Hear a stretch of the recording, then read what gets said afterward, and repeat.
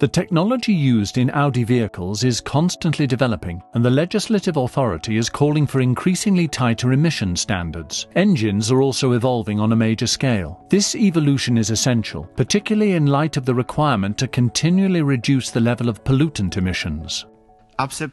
From September 2014, all new vehicle types must comply with the limits of the Euro 6b emission standard or the OBD standard EU 61. The suffix W may also apply. Let's take a look at which limits we are referring to here.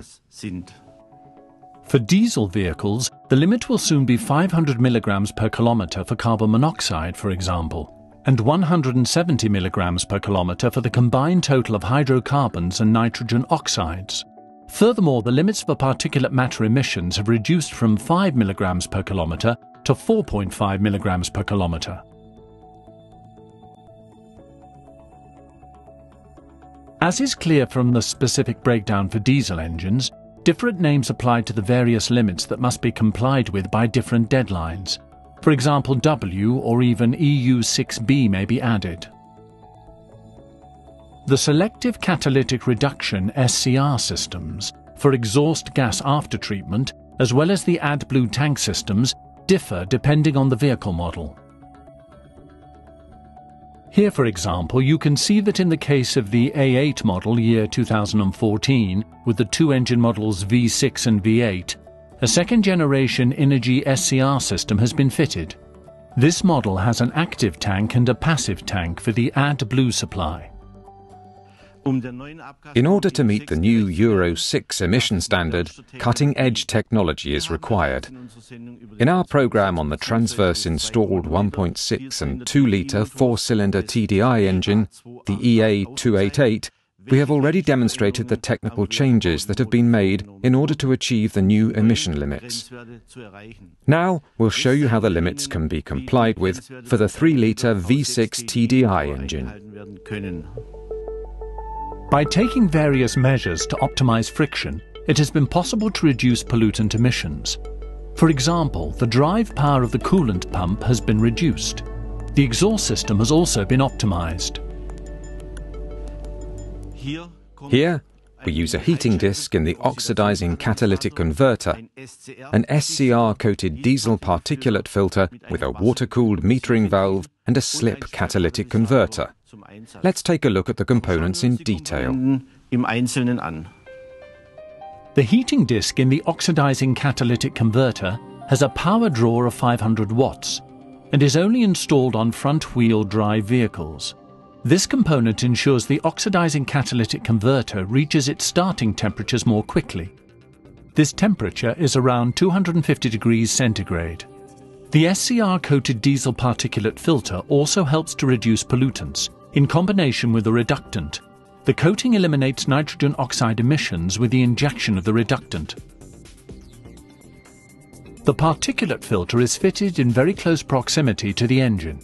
For this reason, a water-cooled metering valve is used on the particulate filter.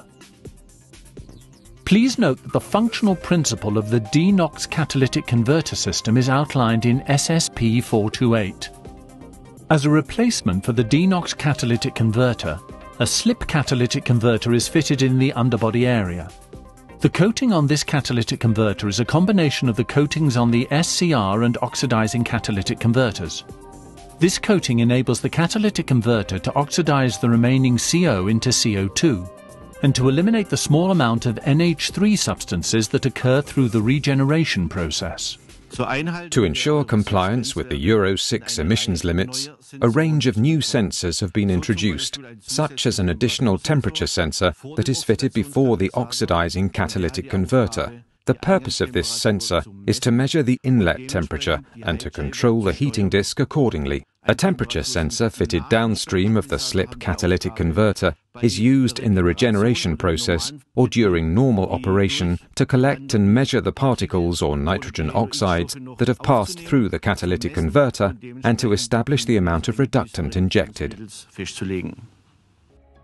In the Audi A8, the AdBlue reductant is carried in both a passive tank and an active tank. A filler neck is located on top of the passive tank. The passive tank is equipped with special conveying technology.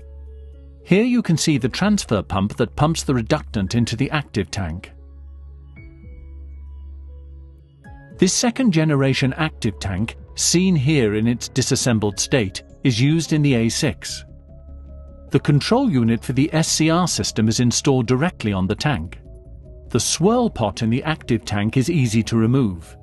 To do so, disconnect the connector and remove the retaining ring.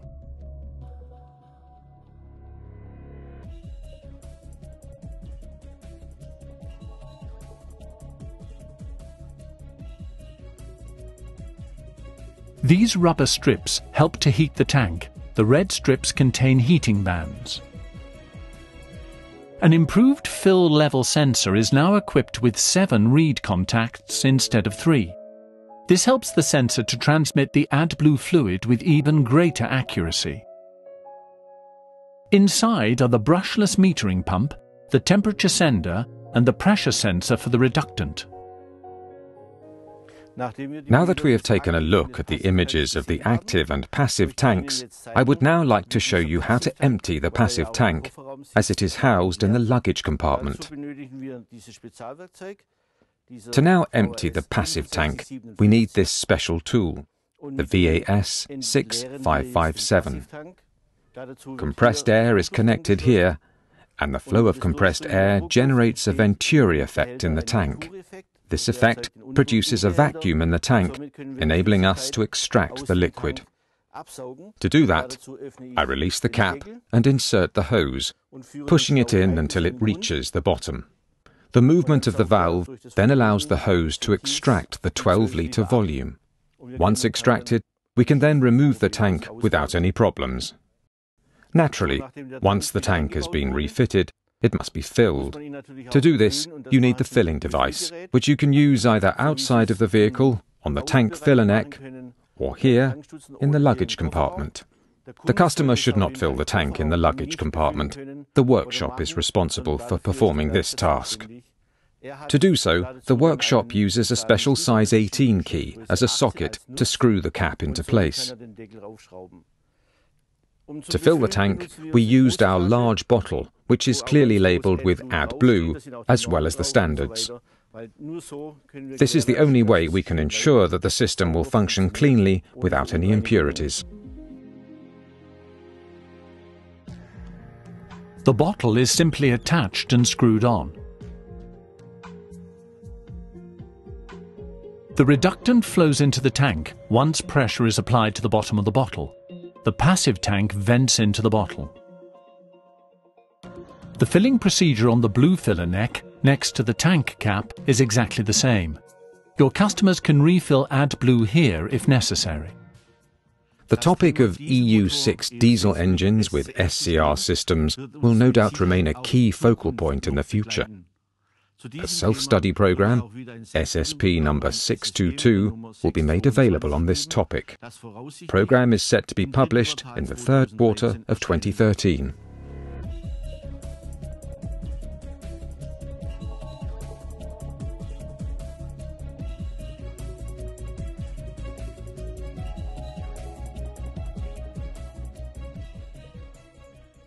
We are always looking for ways to improve our programs. Please send any suggestions, improvements, and suggested topics you may have to audi.service.tv at audi.de.